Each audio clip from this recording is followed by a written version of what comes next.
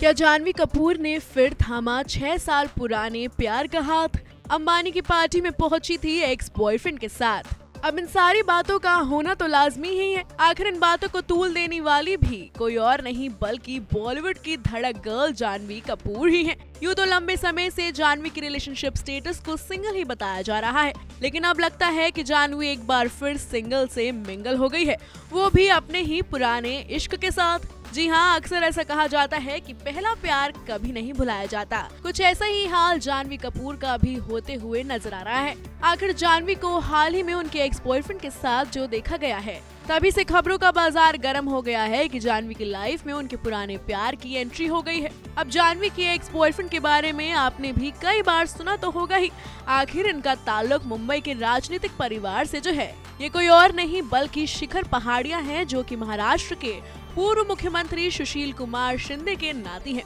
दरअसल इन दोनों के दोबारा साथ में आने की खबरों ने तब ज़ोर पकड़ा जब बीते गुरुवार को जानवी कपूर, बिजनेसमैन मुकेश अंबानी और नीता अंबानी के छोटे बेटे अनंत अंबानी की सगाई में पहुँची थी इस पार्टी में यूँ तो जानवी के साड़ी में देसी अवतार ने खूब लाइमलाइट बटोरी, वहीं इसके अलावा भी एक बात और चर्चा में रही वो था जानवी के साथ साथ उनके एक्स बॉयफ्रेंड शिखर पहाड़िया का यहाँ पहुँचना। इस बात का सबूत पार्टी की कुछ इनसाइड तस्वीरें दे रहा है। दोस्त औरी उर्फ़ और हान के साथ नज़र आ रही हैं।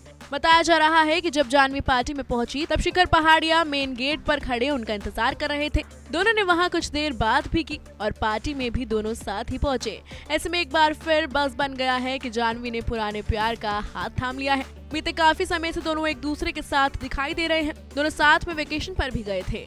वहीं कुछ मीडिया रिपोर्ट्स में ऐसा भी कहा जा रहा है कि जानवी और शिखर ने कुछ महीने पहले एक बार फिर से एक दूसरे से बात करना शुरू किया और फिर कुछ समय बाद उन्होंने वापस साथ आने का फैसला किया। दूसरी ओर, कुछ दिनों पहले ही अनिल कपूर की बर्थडे पार्टी में शिखर, जानवी के पापा बोनी कपूर के साथ पेपराजी के लिए पोज देते हुए भी दिखाई दिए थे, जिससे उनके रिश्ते की खबरें और तेज हो गई थी। बताते कि काफ़ी समय पहले दिवंगत एक्टर श्रीदेवी की बेटी जानवी का नाम शिखर संग जुड़ा था। करीब छह सात साल पहले जानवी के साथ उनके रिश्ते की बात तब सामने आई थी, जब मीडिया में उनकी एक तस्वीर वायरल हुई थी। जिसमें वो एक्ट्रेस को किस करते नज़र आ रहे थे। वहीं जानवी कपूर जब कॉफ़ी विद करण सेवन में नज़र आई थी तो उन्होंने शिखर पहाड़िया के साथ रिलेशनशिप की बात को स्वीकार किया था। बहरहाल, अब इन दोनों का एक साथ एक ही पार्टी में इतने करीब होकर नज़र आना तो इस बात की ओर ही इशारा दे रहा है कि उनका पाचअप हो गया है। Bureau report E twenty